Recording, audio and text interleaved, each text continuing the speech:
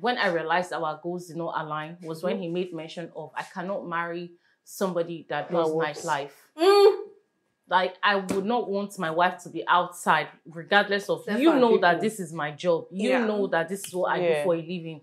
You met me doing my career. Yeah. And all of a sudden, because you want to settle down with me, you're telling me that I will not be able to do that. That goal does not align. yeah. I want my husband to be out with me. Yeah.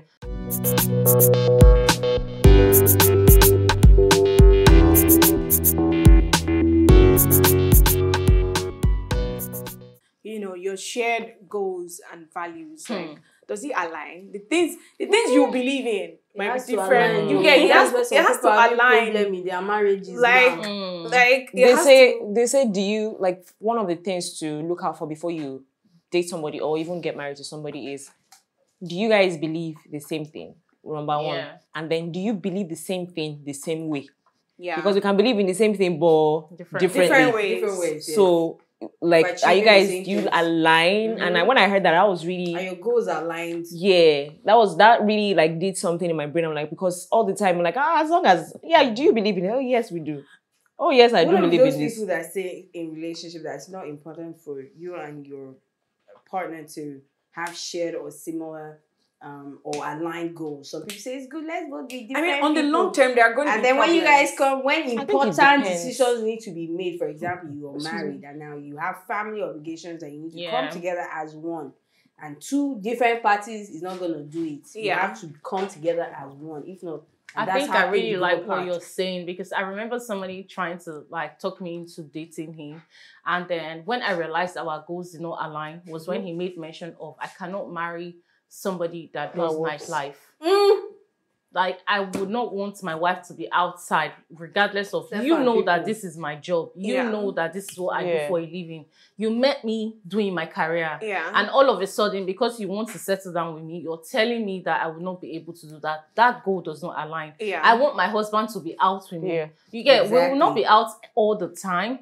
But when I have the most important jobs that you know is bringing money That's and contributing to to, the me, family and exactly. also Mhm. important to me. yeah it needs to show out for He was you. like, imagine you have a three month old baby now. So are you trying to tell me you Then leave you the leave baby the for baby to me and do your and then you go and do your job? I said, yes, because you're the father. I tell you, you, yes, like, that's was it what is. he said. Responsibility is You not leave the baby for me. And Oh, he was like- I got pregnant on my comes- you own. not take care. Girls, do you know the worst? Yeah. The worst statement is this fucking goat said Oh, is yo. My mom did It's, not a- leave really me a good. when she had like priorities. She picked. She also carried me. So And that's need to right marry your mother. another problem. How about marry your mother? You know? another problem. She is.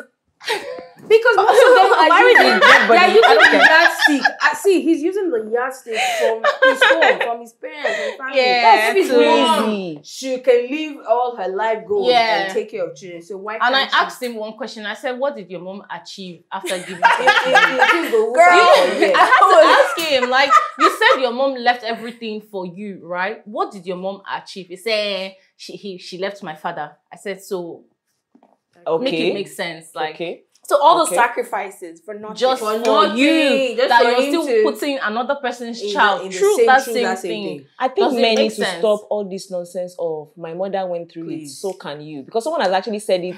I've heard someone say it before, and it's you cheat on your girlfriend, and then you come into coming to the girlfriend to tell her, eh, my parents went through the same thing. My mom had to, Mm. but they had they Oh walked through it. Even even our grandmothers. I'm like, no be today they don't they do am reach in our They- time they- and I- see, say honestly, no. I would always tell such people that your, your mother stayed because she was poor. And That's she was really relying on your father as at that without time. popsy nothing You get- it's not So even about you- money. Ah, it's, It's about like about money. it's like It's, it's you No, know it's how about, about- it's about it's about financial. See, money. the truth is Half of it this is always about money. More than half No, no, no, no, no. Money- money is a huge factor, no, no, I no. I get that like a lot of it's- time they still it's come only but I'm money. saying you don't like if you have self-respect, regardless of whether there's money involved or Or not. in it, If if you have You it, step out. to- Yeah. If you have it enough, enough of it. I think that that money is just will an excuse. Whether you even have money or not. It's, it's, Even not, it's, have not- money it's not an excuse. Unless you can't make money for yourself. That's the thing because most of them are trained. The point I'm making here is that it's not even somebody. about You're talking about your even, great even if you're poor, You're not talking about Gen Z. oh. there was Even if you're poor. our some of some of us, Melissa, even if you're wrote poor, into full-time whether you have money or not, with scope, you be, you date a man, he tells you. Oh, don't worry, I'll let you, you Yeah, know, whatever it do. is you're doing. He marries you, and, And next, next thing, thing he I want you to door. stay at home. and tell you you cannot do anything. Whether you're rich or poor, if you have self, if you have self-respect, Yep. For it really doesn't matter what, any- what anybody does. True. So it's not going to be whether because oh I don't have money and he has money. I'm like, ah, can I feel like a lot of them, personal a lot, and most of personal most of the women that do that cannot go through life alone. They Yeah. can't. Why do you think they stay? They can't go through life alone. So, so they would rather just stay there, take all that abuse, and you know, use excuses, use their children as excuse, use Children financial stability excuse. as Yeah, excuse, just to Mhm. feel something. You know, just because they can't do life alone, then and, it's will very, very disrespect you, important. will They're cheat scared. on women to know that. They're scared to do life alone. You We're can be alone. to the, There's nothing wrong to the with bad that. decision, one the to bad add this everything.